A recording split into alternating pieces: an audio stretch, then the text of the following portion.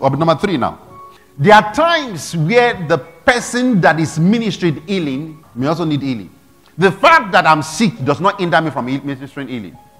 Abraham was waiting on the Lord for a child. Few chapters before that time, Abraham has still had conversation with God and said, God, what's up now? You see, you are telling me about covenant. Can't you see that I don't have children? Abraham had not ministered healing to his wife.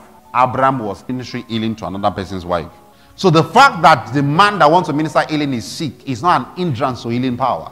Funny enough, let me tell you the truth. Many healing ministers, we find it hard to heal ourselves because we are so familiar with the power. But when it comes to people, it's easy to dispense power. It's easy to say take. It's harder to say take. You know what I'm saying? It's easy to say take because you have two hands to, to receive it. If I say take, I have to use the other hand to receive it. So it's easier for you to take than for me to take.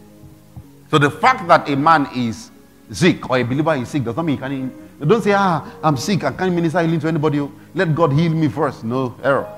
You can. It's never an hindrance. And don't deny people of healing that is in your hand as a believer. I told every believer can heal the sick because you feel you are inadequate or because you feel that you are still sick in your body. No. Or you're still praying for healing in one particular area. No, no, no, no, no, no.